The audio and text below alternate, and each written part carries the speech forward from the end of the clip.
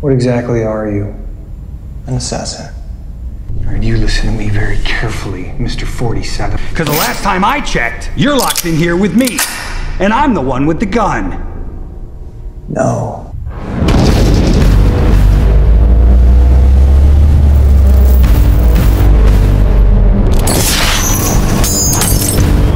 Oh my god, this is a top assassin. He has no surname, no name, only a QR code tattooed on the back of his head. His code name is 47, and 47's current mission is to assassinate Dr. Litvenko, who transformed them years ago, as well as to destroy other transformation bases. Years ago, a mysterious organization initiated a powerful genetic research project to end the cruelty of war by transforming humans. Through genetic modifications, they created the perfect killing machines, and this project was successfully completed. Dr. Litvenko, looking at them devoid of emotions and fear, engaging in inhuman killings every day, their eyes only focused on completing the organization's missions, felt a pang of conscience, thus, he destroyed all research data and fled the mysterious organization, the government, worried about the exposure of this project, terminated it, leading the surviving agents to fall into darkness. Eventually, they handed the project over to a highly mimetic Dr. Del Rigo.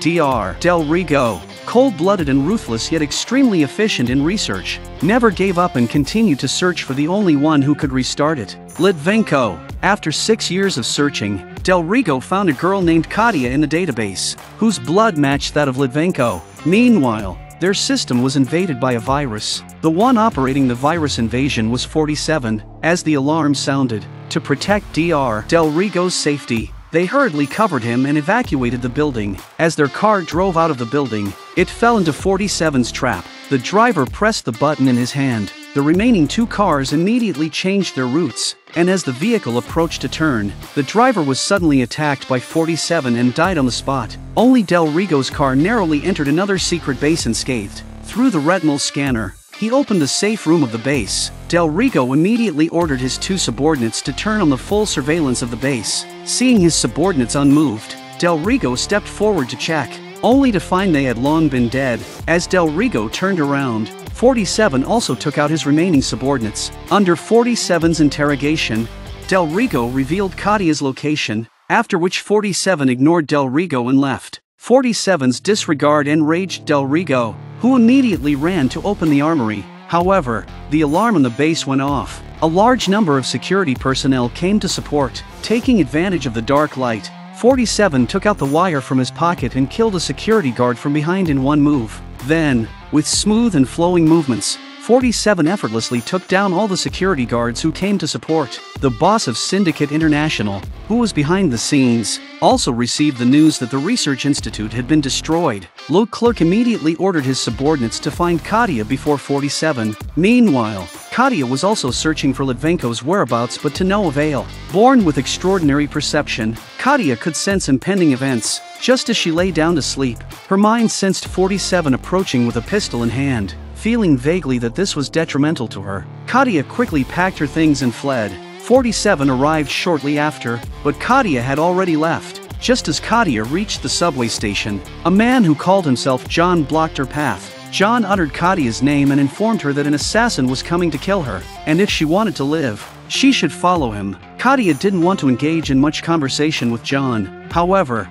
she sensed 47's arrival and had no choice but to trust John. At this moment, 47 appeared, and a firefight ensued, allowing Katia to escape. Just as 47 was about to raise his pistol, John quickly lunged at him, and they fought from the surface down to the subway tracks. After a struggle, it was clear John was no match for 47. Fortunately, a passing train halted 47's pursuit. John immediately took Katia to a waiting car outside, but as the car started, the driver's head was struck by a bullet. The car crashed into a nearby vehicle, and John immediately took Katia out of the car to escape. When they reached the embassy of a certain country, John unhesitatingly fired shots into the air, and the embassy soldiers promptly detained them. They thought they were safe now. Unexpectedly, 47 blatantly carried a sniper rifle, stunning the security personnel. 47 was carrying a couple of pistols on his belt. 47 was taken to the interrogation room. The interrogator brought 47's weapons into the room to question him.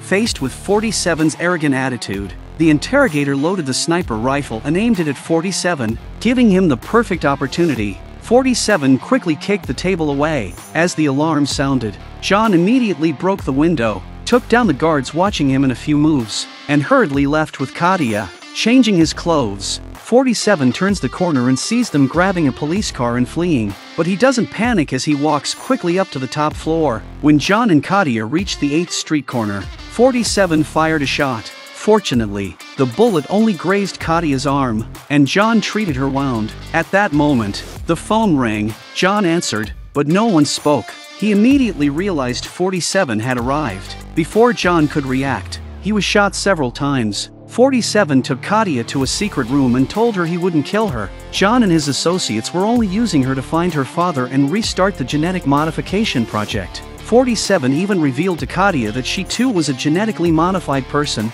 Then 47 extended his hand to Katia. As she grasped it, memories of the past flashed through her mind. It turned out her father was the gene modification doctor of the mysterious organization, and she herself was a product of her father's genetic modification. When her father took her to flee the organization, the little bald boy they encountered on the road was 47. Later, as they were continuously hunted by the organization, her father, to ensure her safety, hid her in the sewer and then lured the assassins away by himself. Since then, Katia never saw her father again. After Katia finished sensing, she questioned 47 why her father had left her. Then, 47 flipped a switch on the wall, and the fan behind Katia started to spin, its strong suction slowly pulling her towards it. Katia immediately closed her eyes and sensed how to break free. Freeing herself from the restraints, Katia understood that 47 was stimulating her potential. Meanwhile, assassins from Syndicate International also arrived at the scene. 47,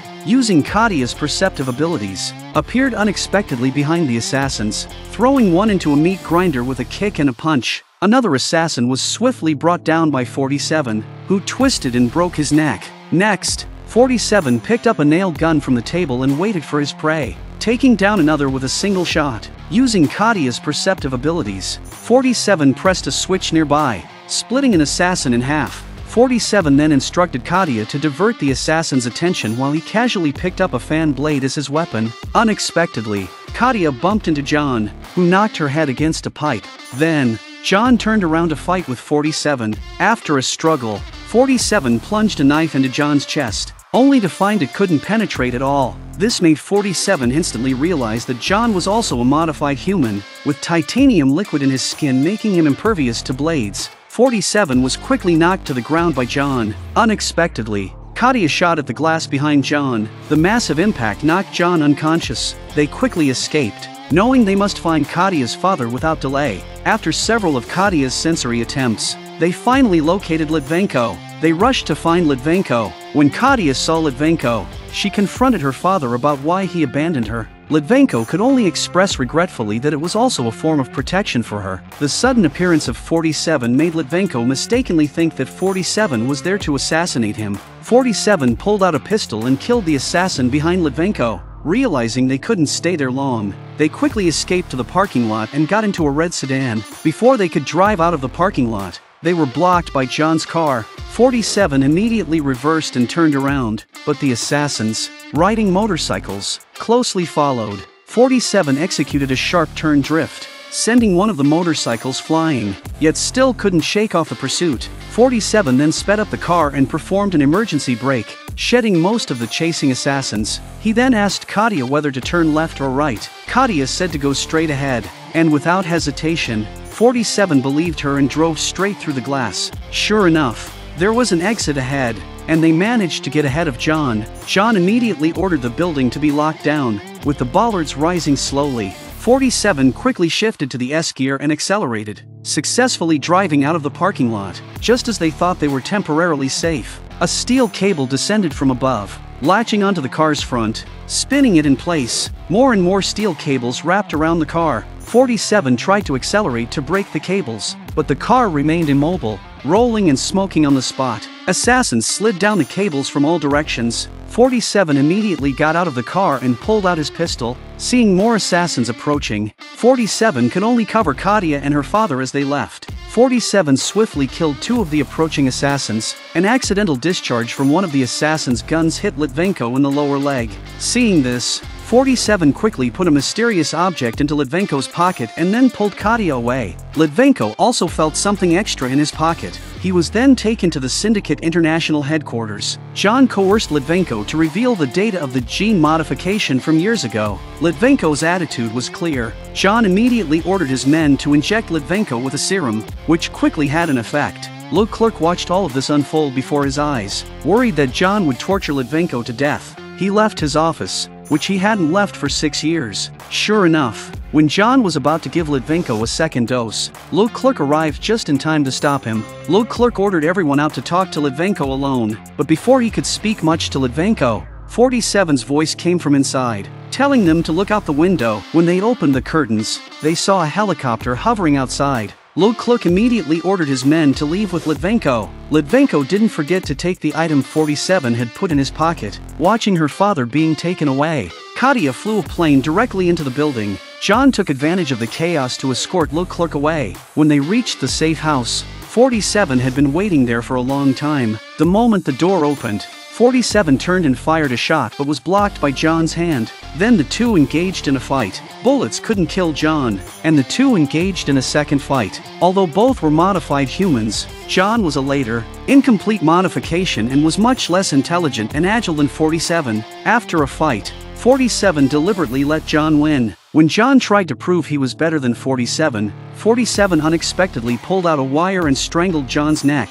47 connected the wire to an electric line, and John was electrocuted to death. Katia arrived at that moment, and they began to pursue, until they reached the rooftop. The minions were like live targets, each shot hitting its mark. Bullets seemed to have a life of their own, each shot precise. Le Clerq took advantage of their shootout to leave in a helicopter. After they dealt with all the minions, Katia realized her father had been taken into the helicopter. At that moment, a surviving minion aimed at Katia, but 47 saw and quickly shielded her from the bullet. They made a spectacular turn and killed the last minion, watching the helicopter gradually disappear. Litvenko looked at his daughter from the plane. Litvenko took out the object 47 had put in his pocket and pressed it lightly. 47 received a call from the organization, questioning why he hadn't killed the second target. Katia, 47 didn't respond and simply threw the phone off the building. Katia also realized that her father was 47's first target, and the plane explosion was part of 47's plan.